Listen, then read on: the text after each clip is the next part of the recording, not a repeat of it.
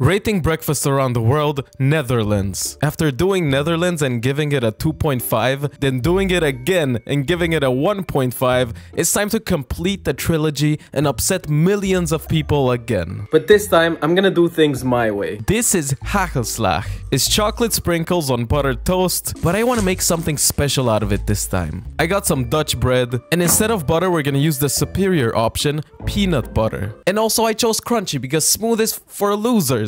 I sprinkled a very even amount of sprinkles on my bread, unlike last time. Is this enough sprinkles? Add some banana slices and top with another slice of bread, but we're not done. We're gonna mix some eggs with some cinnamon, some more sprinkles, vanilla, and milk, and dip this sandwich into our egg wash. That's right, we're French toasting this Dutch sandwich. Top it with yogurt and blueberries to pretend it's healthy, and I gotta say big improvements across the board, 7 out of 10.